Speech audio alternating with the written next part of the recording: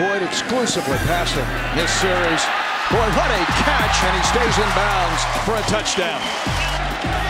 He'll get the call. Weaves his way, touchdown, Clemson. There's Boyd. Got a man on the post. Touchdown! What a catch by Hopkins. Boyd looking deep. Another man wide open. It's Humphries again. That looks familiar. Touchdown. McDowell motions out. Tajh keeps it himself. Touchdown. On third and 14. Watson keeps it, flips it. Renfrow scores.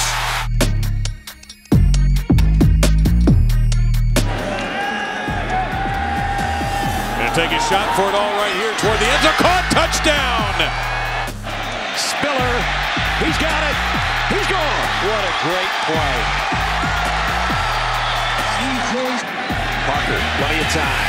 Streaks down the sideline, and it's C.J. Spiller. Touchdown. Look at him go over to midfield.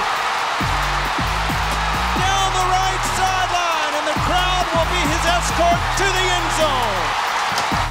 Etienne will make the first down and break free.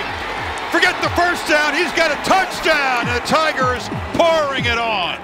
Etienne gets the edge again. And Etienne tights on the sidelines. Did he step out? He's still running all the way to the end zone. Travis Etienne.